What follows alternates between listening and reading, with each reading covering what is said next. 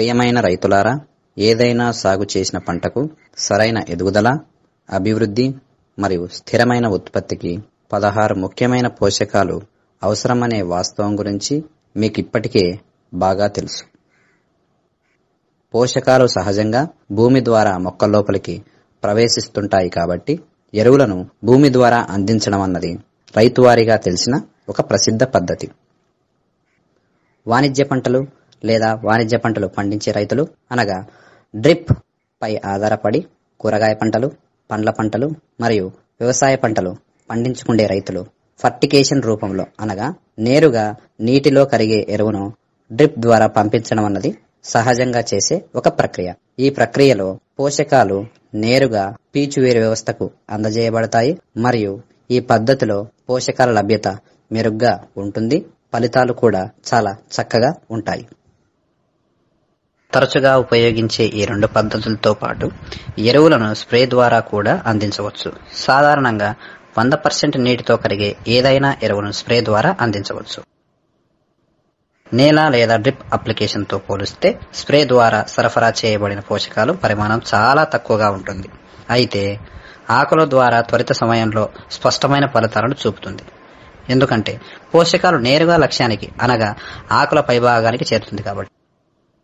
సూర్యకాంతి సమక్షంలో అనగా పగటి వేలలో కిరణజన్య సమయక్రియ నిర్వహించడానికి ఆకులు ఆకుపచ్చగా మరియు క్రియాత్మకంగా ఉండాలి. వాటికి అవసరమైన పోషకాలు నిరంతర డిమాండ్ ఉంటుంది కాబట్టి మనం ఏదో ఒక రూపంలో ఖచ్చితంగా అందజేయాల్సి ఉంటుంది. ఇప్పుడు వంద శాతం నీటిలో కరిగే ఎరువులను ఏ ఏ సమయాల్లో ఎప్పుడు స్ప్రే చేసుకోవాలో తెలుసుకుందాం. మొక్క చిగురించే సమయంలో మొక్క పెరుగుదల సమయంలో మొక్క అభివృద్ధి చెందే సమయంలో మొక్క పుష్పించే సమయంలో పోషకాలు ప్రథమ ద్వితీయ సూక్ష్మ పోషకాలు చాలా ఎక్కువగా ఉపయోగపడతాయి కాబట్టి ఈ సమయంలో మనం స్ప్రే అందించాల్సి ఉంటుంది. ఒకవేళ స్ప్రే అందించినట్లయితే మొక్కలోని చిగురు భాగం చిన్నగా రావడం వేరు వ్యవస్థ నెమ్మదిగా పెరగడం అందులో ఉన్న పీచు వ్యవస్థ తక్కువగా ఉండడం జరుగుతుంది. ఇలాంటి సందర్భాల్లో మొక్క చాలా ఇబ్బందులకు లోనవుతుంది. ఇది కొత్త ఆకుల డిమాండ్ను పూర్తి చేయడానికి సరిపోని పోషకాలను తక్కువగా తీసుకునే విధంగా చేస్తుంది. ఇందుమూలాన ఈ సమయంలో మనం ఎరువులను ఆకుల పైభాగాన పిచికారీ చేసినట్లయితే సమర్థవంతంగా అందడమే కాకుండా తక్షణ పెరుగుదల వాటికి తక్షణ ప్రోత్సాహం అందుతుంది. క్రమ వ్యవధిలో స్ప్రేలు చేసుకోవడం వల్ల పంటకు దాగి ఉన్న ఆకలి నుండి దూరంగా ఉంచడమే కాకుండా వాటి విలాసవంతమైన పెరుగుదలకు అభివృద్ధికి తోడ్పడుతుంది. దీనికి విరుద్ధంగా ధాన్యాలు కాయగూరలు పండ్లు దుంపలు వంటి విక్రయించదగిన పంటలు. అంటే ఇన్స్టెంట్గా అమ్ముకునే పంటలు ఏవైనప్పటికీ వాటికి పరిపక్వత దశకు అనగా మెచ్యూరిటీ దశకు ముందుగానే మనం సంపూర్ణ పోషక యాజమాన్యం చేయవలసి ఉంటుంది. పరిపక్వతకు ముందు దశలో డ్రిప్ మరియు స్ప్రే ద్వారా తగిన ఎరువులను పదే పదే అందించడం వల్ల అవసరమైన పోషకాల భర్తీ జరిగి నిరంతరంగా సరఫరా అయ్యి వాటి వృద్ధిని పెరుగుదలను దిగుబడిని పెంచడమే కాకుండా మొక్క ఆరోగ్యాన్ని కాపాడుతుంది. మొక్కల వేర్లు భూమిలోని నీరు మరియు పోషకాలన్నింటినీ గ్రహించడంలో నిరంతరం పనిచేస్తూనే ఉంటుంది. ఏదేమైనప్పటికీ కొన్ని అననుకూలమైన వాతావరణ పరిస్థితులు తెగుళ్ళు రోగాలు జబ్బుల వల్ల మొక్కల ప్రక్రియ అనేది దెబ్బతింటూ ఉంటుంది. ఈ సమయంలో మొక్కల వేర్లు పోషకాలు తీసుకోవడంలో చాలా నిదానపడి మొక్క అన్నది చాలా ఇబ్బంది పడుతూ ఉంటుంది. ఈ సమయంలో పైపాటున పిచికారీ ద్వారా మనం అన్ని రకాల పోషకాలను అందించినట్లయితే మొక్క ఎటువంటి ఇబ్బందులకు లోనవ్వకుండా దిగుబడిలో ఎటువంటి తేడాలు జరగకుండా మొక్క ఆరోగ్య పరిస్థితి త్వరగా మెరుగుపడే విధంగా చేయొచ్చు. చాలాసార్లు పంట సాగులో ఉన్న భూమి పీహెచ్లు ఎక్కువ తక్కువలో ఉండడం కానీ నీటి పారుదల సరిగ్గా లేకపోవడం కానీ వేరు వ్యవస్థకు సరైన గాలి తగలకపోవడం కానీ భూమిలో లవణాలు ఎక్కువగా ఉండడము లేదా ఉప్పు నేలలు కలిగి ఉండడము లేదా భూమిలోని కాల్షియం కార్బోనేట్ ఎక్కువగా ఉన్న పరిస్థితుల్లో మొక్క యొక్క వేరు వ్యవస్థ దగ్గర ఉన్న మూలకాలను మరియు పోషకాలను వేరే రకాల రియాక్షన్స్ ద్వారా ఈ పోషకాలన్నింటినీ వేరు వ్యవస్థకు అందకుండా చేయడం వల్ల మొక్క చాలా ఇబ్బందులకు లోనవుతుంది. ఇలాంటి నేలలు ఇలాంటి ఇబ్బందులు కలిగిన రైతులందరూ కూడా సరైన సమయంలో సరైన విధంగా పైపాటున పిచికారీ చేసుకోవడం వల్ల ఇటువంటి ఇబ్బందుల నుంచి మనం గట్టెక్కవచ్చు మొక్కను ఎటువంటి ఇబ్బందులకు లోనవ్వకుండా చూసుకోవచ్చు. అవసరమైన పోషకాలు తీసుకోవడంలో ఉష్ణోగ్రతలపైన ఆధారపడడం అన్నది సాధారణమైన విషయం. ఉష్ణోగ్రత పదహారు డిగ్రీల కంటే తక్కువగా ఉన్నప్పుడు మరియు ముప్పై మూడు డిగ్రీల కంటే ఎక్కువగా ఉన్నప్పుడు మొక్క అన్నది వేరు ద్వారా పోషకాలను సరిగ్గా గ్రహించలేక చాలా ఇబ్బందులకు లోనవుతూ ఉంటుంది. ఈ పరిస్థితులు ఉన్నప్పుడు మనం పైపాటున పిచికారి చేసినట్లయితే వాటికి కావాల్సిన పోషకాలు మనం వెనువెంటనే మనం అందించినట్లవుతుంది. మొక్కలు ఎటువంటి చేంజెస్ రాకుండా ఎటువంటి ఇబ్బందులు లేకుండా వాటి జీవనక్రియను సవ్యంగా జరిపిన వాళ్ళం అవుతాం. మొక్కలు పదహారు డిగ్రీల నుండి ముప్పై మూడు డిగ్రీల లోపల ఉన్నప్పుడు సరైన అవసరమైన పోషకాలను తీసుకోవడం పెరుగుతుంది. మన కోరిక మేరకు వాతావరణ ఉష్ణోగ్రతలు మన చేతిలో ఉండవు కాబట్టి వాతావరణ పరిస్థితులు సరిగ్గా లేనప్పుడు మనం పైపాటున పిచికారీ చేసుకోవడం వల్ల మొక్కను ఇబ్బందికి లోనవ్వకుండా చూసుకోగలుగుతాం. కొన్నిసార్లు పంట అకస్మాత్తుగా సూక్ష్మధాతు లోపాలను ప్రధాన దాత లోపాలను చూపుతూ ఉంటుంది. దీనికి గల ముఖ్య కారణం మొక్కలోని ఎక్కువ దిగుబడి ఇవ్వగలిగే కణాలు కలిగి ఉండటం. ఇందుమూలాన పంట దిగుబడులు లేదా పంట నాణ్యత లేదా రెండింటిలోనూ నష్టాన్ని కలగజేస్తూ ఉంటాయి. అటువంటి పరిస్థితుల్లో అవసరమైన పోషకాలను సరఫరా చేయడానికి పైపాటున పిచికారి అంటే ఫోలియర్ స్ప్రే అనే సులభమైన వేగవంతమైన మరియు అత్యంత ప్రభావవంతమైన మార్గాన్ని ఎంచుకోవడం ఎంతైనా ముఖ్యం. ఫోలియర్ స్ప్రే అనగా పైపాటున పిచికారీ ద్వారా సరఫరా చేయబడిన పోషకాలు వేగవంతంగా మొక్కకు లభ్యమయ్యి మరియు దిగుబడిలో ఎటువంటి నష్టాన్ని కలగజేయకుండా చేస్తూ ఉంటాయి. పైపాటున పిచికారీ ద్వారా అందించే పోషకాలు మొక్కకు ఏ విధంగా అందుతాయో ఇప్పుడు తెలుసుకుందాం. ఆకు ఉపరితలాలు అనగా ఆకు యొక్క పై భాగాన మరియు కింది భాగాన స్టోమా లేదా స్టొమాటా అని పిలువబడే అనేక సూక్ష్మ రంధ్రాలు కలిగిన ఒక ఎలిమెంట్ అనేది ఉంటుంది. దాని పేరు స్టొమాటా. ఇది చూడటానికి అతుక్కొని ఉన్న జీడిపప్పు ఆకారంలో ఉంటుంది. వీటిని గార్డ్ అనే పేరుతో పిలుస్తూ ఉంటారు. ఇది వరకు వివరించినట్లుగా అతుక్కొని ఉన్న జీడిపప్పు ఆకారం కలిగిన గార్డు కణాలు నీటితో నిండి ఉన్నప్పుడు అవి ఒకదానికొకటి దూరంగా జరుగుతాయి అంటే కదులుతాయి. ఫలితంగా స్టొమాటల్ రంధ్రం తెరుచుకుంటుంది. గార్డు కణాలు నీటిని ఆవిరి రూపంలో కోల్పోయినప్పుడు అవి దగ్గరగా రావడం ప్రారంభిస్తాయి. ఫలితంగా స్టొమాటో రంధ్రం మూసుకుంటుంది. సరళంగా రైతువారి భాషలో చెప్పాలంటే రోజులోని చల్లటి భాగాలలో అంటే తెల్లవారుజామున మరియు సాయంత్రం వేళల్లో స్టొమాటో రంధ్రాలు తెరుచుకుంటాయి.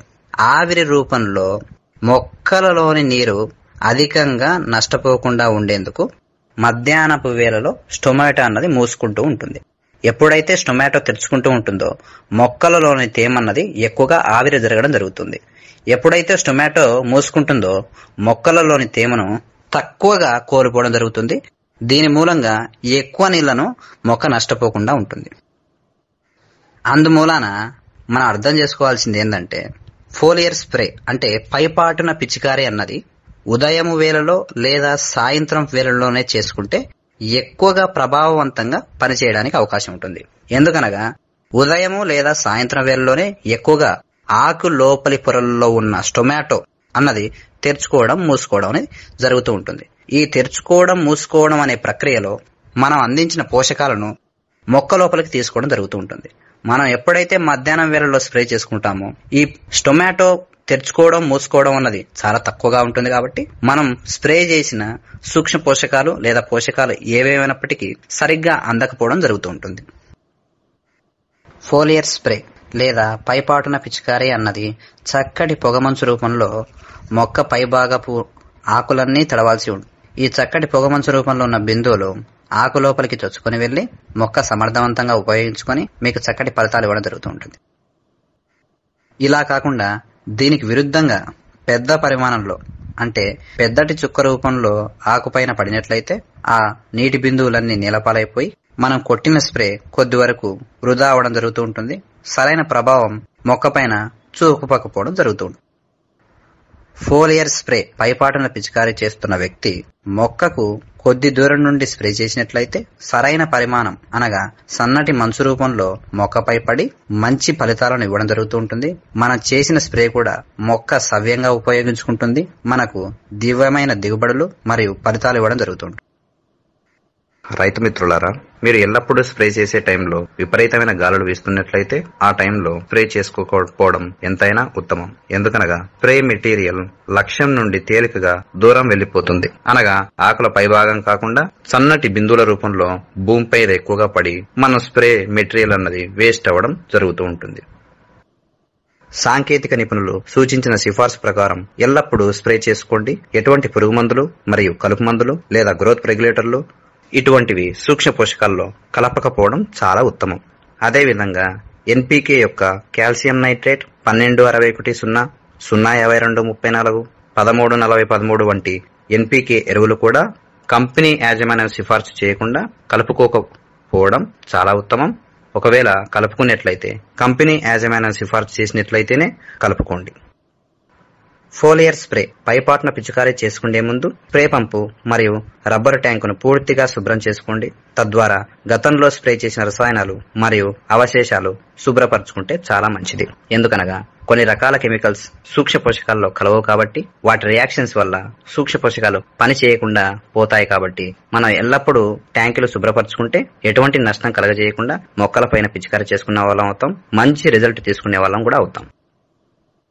స్ప్రే చేసుకునే సమయంలో మనకు ముఖ్యమైన విషయం గమనించుకోవాల్సింది ఏమనగా స్ప్రే అన్నది కంపెనీ యాజమాన్యం సిఫార్సు చేసిన దానికంటే ఎక్కువ మోతాదులో కలుపుకోవడం మరియు అందులో కలపకూడని రసాయనాలు కలిపి స్ప్రే చేసినప్పుడు ఆకుల పై భాగాన బర్న్స్ అనగా మాడిన విధంగా ఆకులు తయారవుతాయి కాబట్టి మనము కంపెనీ యాజమాన్యం సిఫార్సు చేసిన విధంగానే అందులో స్ప్రే చేసుకోవడం ఎంతైనా ఉత్తమం.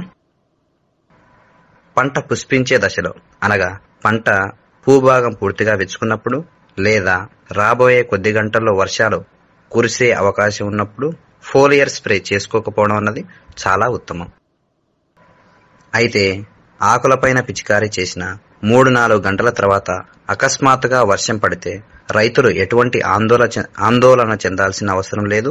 అప్పటికి చాలా వరకు పోషకాలు మొక్క లోపలికి వెళ్ళి ఉంటాయి కాబట్టి ఎటువంటి నష్టం జరగకుండా మొక్క ఉపయోగించుకుంటుంది. మరొక ముఖ్యమైన విషయం. గమనించాల్సింది ఏమనగా స్ప్రే చేసుకునే సమయంలో ఎల్లప్పుడూ మొక్క మొదట్లో తగినంత తేమ ఉండే విధంగా చూసుకోండి. ఎందుకనగా తగినంత తేమ ఉన్నప్పుడు మాత్రమే మొక్క పైపాటున స్ప్రే చేసిన మైక్రోన్యూట్రియన్స్ను గాని ఎన్పీకే ఎరువులను కానీ చాలా చక్కగా తీసుకోగలుగుతుంది మరియు మీకు మంచి రిజల్ట్ ఇచ్చేదానికి అవకాశం ఉంటుంది. ఫోలియర్ స్ప్రేలు అనగా పైపాటున పిచికారీ చేయడం అన్నది పదే పదే చేసినట్లయితే మొక్క అపారమైన శక్తిని ఆదా చేసిన వాళ్ళమవుతాం. లేకపోతే నేల నుండి పోషకాలను తీసుకోవడంలో వాటి అపారమైన శక్తి ఖర్చు అవుతూ ఉంటుంది కాబట్టి వాటి శక్తి ఎక్కువగా కోల్పోవడం జరుగుతూ ఉంటుంది మొక్కలు. ఇందువల్ల వీలైనన్ని ఎక్కువసార్లు పైపాటున పిచికారీ చేసుకోవడం వల్ల మొక్క ఎటువంటి ఇబ్బందులకు లోనవ్వకుండా మనకు మంచి సత్ఫలితాలు ఇచ్చే అవకాశం ఎంతైనా ఉంది. మనం పైపాటున పిచికారీ చేసే మందులు ఎక్కువ కాలం వాటికి పోషణ ఇవ్వలేనప్పటికీ భూమిపైన పదే పదే ఆధారపడే అవసరం మొక్కకు చాలా తగ్గుతుంది. అదేవిధంగా భూమిలోంచి తీసుకుండే పోషణతో పోల్చినట్లయితే పైపాటున పిచికారీ చేసిన ఎన్పీకే లేదా సూక్ష్మ పోషకాల ద్వారా ఎక్కువగా రిజల్ట్ తీసుకోవచ్చు కాబట్టి మనం ఎల్లప్పుడూ పైపాటున పిచికారీ అన్నది చేసుకోవడం ఎంతైనా ఉత్తమం. పైపాటున పిచికారీ విధానంలో పోషకాల వృధా అన్నది చాలా తక్కువగా ఉంటుంది కాబట్టి ఈ విధానం ఎంతైనా పర్యావరణ హితం. అనగా పర్యావరణానికి ఎటువంటి భంగం కలిగించని పద్ధతి అని అర్థం. ఎన్పీకే ఎరువులను కానీ సూక్ష్మ పోషకాలను కానీ ద్వితీయ పోషకాలను కానీ మనం పైపాటున స్ప్రే చేసినట్లయితే వాతావరణానికి ఎటువంటి ఇబ్బంది కలగదు.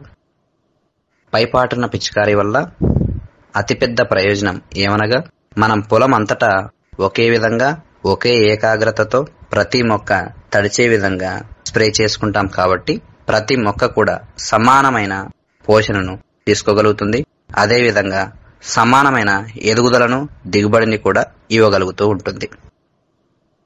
నీటి కొరత చాలా ఎక్కువగా ఉన్న ప్రాంతాలు అనగా మెట్ట ప్రాంతాలు. మెట్ట ప్రాంతాలలో ఎక్కువగా మెట్ట పైర్లు వేసుకోవడం జరుగుతూ ఉంటుంది. అనగా వర్షాధారిత పంటలు అని అర్థం. ఈ పంటలకు మనం పదే పదే భూమి ద్వారా పోషకాలను అందించడం అన్నది చాలా కష్టం. కాబట్టి చల్లంటి సాయంత్రం వేళలో కానీ ఉదయం వేళలో కానీ మనం సూక్ష్మ పోషకాలను కానీ ఎన్పీకే ఎరువులను కానీ ద్వితీయ సిఎంఎస్ను కానీ మనం పైపాటున పిచికారీ చేసినట్లయితే చాలా వరకు మొక్క వినియోగించుకొని మనకు మంచి దిగుబడులు ఇచ్చే అవకాశం ఎంతైనా ఉంది. సాధారణంగా రైతు సోదరులు విపరీతంగా ఎక్కువ మోతాదులో ఎన్పీకే ఎరువులను భూమి ద్వారా అందించడం జరుగుతూ ఉంటుంది. అదే స్ప్రే రూపంలో అయినట్లయితే చాలా తక్కువ మోతాదుల్లో ఎన్పీకే ఎరువులను గాని సూక్ష్మ పోషకాలను గాని ద్వితీయ పోషకాలు సిఎంఎస్ను గాని అందించినట్లయితే ఎక్కువ ప్రభావం పొందడానికి అవకాశం ఉంటుంది. మట్టిలో లేదా భూమిలో వేసే పోషకాలతో పోల్చుకుంటే ఈ పైపాటున చేసే పిచికారి రూపంలో అందే పోషకాలు చాలా త్వరగా మొక్కకు అందుతాయి మరియు సత్వరమే తీసుకోవడం జరుగుతూ ఉంటుంది. వెను వెంటనే మీకు మంచి రిజల్ట్ ఇచ్చే అవకాశం కూడా ఉంటుంది. ఈ భూమి ద్వారా ఇచ్చే మందులు మొక్క లోపలికి వెళ్ళి అవి పని చేయడానికి చాలా సమయం పడుతూ ఉంటుంది. కానీ మనం పిచికారీ చేసే పోషకాలున్నవి చాలా త్వరగా మొక్క లోపలికి వెళ్ళి మీకు త్వరగా అంటే చాలా తొందరగా రిజల్ట్ ఇచ్చే అవకాశం ఎంతైనా ఉంది. చిట్ట చివరిగా రైతులు తెలుసుకోవాల్సినది ఏమనగా కేవలం పైపాటున పిచికారి ద్వారానే పంట మొత్తం పెంచడం అన్నది చాలా వరకు కష్టం. భూమిలో మందులు మనం ఇస్తూనే వాతావరణ పరిస్థితులు అనుకూలంగా లేనప్పుడు మొక్క చాలా తొందరగా పెరుగుతున్నప్పుడు పుష్పించే సమయంలో మరియు కాయ ఏర్పడే సమయంలో ఎల్లప్పుడూ మనం పైపాటున స్ప్రే ద్వారా పోషకాలు అందించినట్లయితే మీకు మొక్క సామర్థ్యం మేర పంటను పండి మీకు మంచి ఉత్పత్తిని ఇచ్చే అవకాశం ఎంతైనా ఉంటుంది. దీని ద్వారా రైతు సోదరులు తెలుసుకోవాల్సింది ఏమనగా భూమి ద్వారా అందించే పోషకాలతో పోల్చుకుంటే పైపాటున స్ప్రే ద్వారా అందించే పోషకాలున్నవి చాలా త్వరగా అందుతాయి అన్నది మా మనవి.